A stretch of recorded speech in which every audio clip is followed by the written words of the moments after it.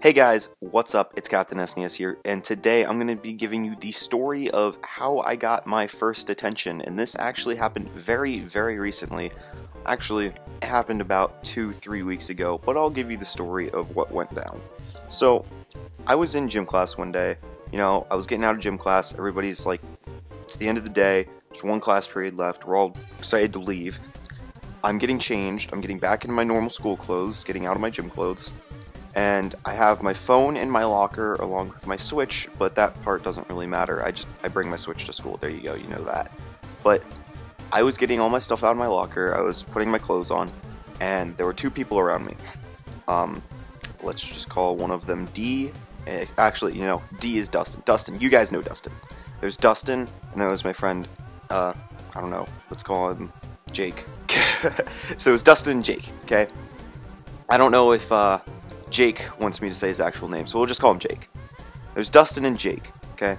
And so Dustin uh, tells me, "Hey, did, do you have your phone?" And I'm like, "No, I don't. Like, do you have it?" And he's like, "No, I think Jake took it." And I'm like, "Are, are you sure about that? I don't think he'd be like the person to do that." And I look at my locker, it's not there. Check my pants, it's not there. And my jacket, it's not there. Like, I always put my phone in either my pants pocket or my jacket pocket. And so I go out of the locker room, I ask Jake, I'm like, Jake, do you have my phone? He's like, no, I don't have your phone at all. I'm like, are you sure about that? He's like, yeah, I don't have your phone. I don't have a reason to take your phone. And so I was like, alright, so it must be you, Dustin. Because Dustin has a history of taking my crap. Like pencils and phones and everything. Um, gloves, socks, I don't know, he's weird. So, he takes my crap all the time, so I thought it was him. And I kept like fighting with him, like, yo, give me my phone back, give me my phone back. And he swore he did not have it. We went to our next class. We're still fighting about this. Uh, he's sitting down in his chair in the next class. I walk in. I'm like, yo, Dustin, give me my phone. Now, mind you, this is before the bell even rung. So I'm like, Dustin, give me my phone. He's like, I don't have it. And I'm like, Dustin, I know you have it. And so we just kept arguing back and forth about this. And it got to the point where I got pissed off at him because I swore that he had it.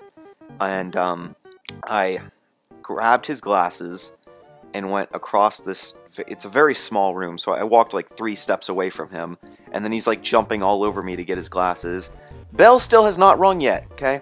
So then the teacher yells at us, and we go out in the hallway. She's like, I can't have you guys doing this. You guys always come into my class fighting with each other. And I'm like, we don't fight with each other. We talk to each other, but we don't fight with each other. This is probably the first time we've done that.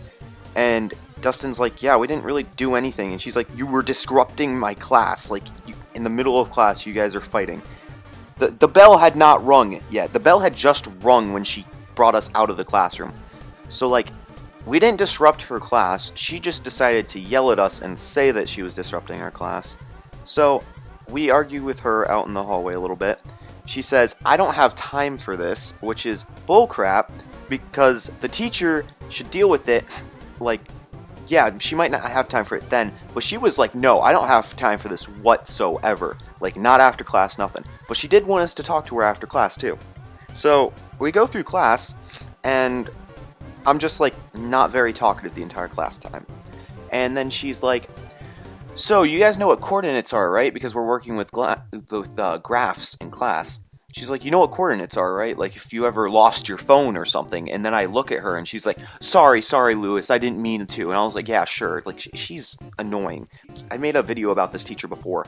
It was the um, uh, teacher gets triggered video. She's the same teacher. So we're in her class. Class is over. Actually, no.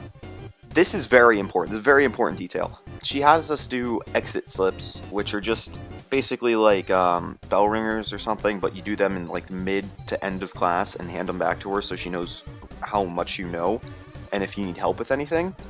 And I bring mine up to the front of the class, walk back, and my phone is sticking out of the side pocket of my backpack. Now, I could have done that and not known. Dustin could have done that. Jake could have done that. I have no idea. So, I'm like, yo, how the heck did my phone get there? So, I told Dustin at the end of the class period, and we're just standing there. The bell rings, and she's like, "Whoa, whoa, whoa! Where are you guys going?" We did. We hadn't even really moved, and she's like, "Whoa, where are you guys going? Get back here!" And then she's like talking to us about it. She's like, I don't have time for this. I'm just gonna tell the vice principal about this, and then he might give you a detention for it, but I'm definitely gonna give you a detention for disrupting our, my class. So that's two detentions right there. So we asked her, Is there a way we can get rid of the detentions? And she said, Yeah, if you talk to the vice principal, like if he calls you down and you talk to him, and he might be able to absolve you of the two. He was like, Yeah, he might be able to absolve you of them. Like, very like, no, that's not going to happen whatsoever. I'm going to make sure you guys get a detention. So she said that we were going to be able to talk to him. We never talked to him. She told us the next day. She gave us detention the next day, like these these papers that we had to sign saying that we had detention. We signed those the next day, and we never got to talk to him. We never got to see if he would absolve us, if he would give us two, if he would give us one. She said she talked to him we didn't get to say our side of the story whatsoever. She's very biased. I feel like she is a very, very biased person. So we didn't get to say our side of the story whatsoever. And so uh, we were given detention slips, and then she said, You're going to be serving this next week, like midweek uh, next week. But guess what? Next week was three snow days in a row, so we never had to serve it and I asked Dustin because Dustin has had detentions before. I asked him, um, "Are we gonna have to serve this some other time?" He said, "Yeah, we probably should serve this some other time. Except if nobody says anything, then we don't really have to do anything." So nobody said anything to us. It's been about I don't know um, a month since this happened. So nobody said anything to us. We still have not had these detentions. I will make a video about detention if you guys want me to, if I ever have it. But the other thing is, if I go online and check where my grades are, there's also a tab that says discipline, and there's nothing under there. My detention would have been under there if it was like an actual detention. So I don't know if this teacher's just trying to scare us or what, but she's very annoying, and uh, you know, she it might have worked, but you know, she's not actually making us serve detention, so don't know what good it does. So uh, that's my story. I hope you guys enjoyed. Don't forget to leave a like, comment, favorite, and subscribe for more. This has been Captain SNES signing out. Peace.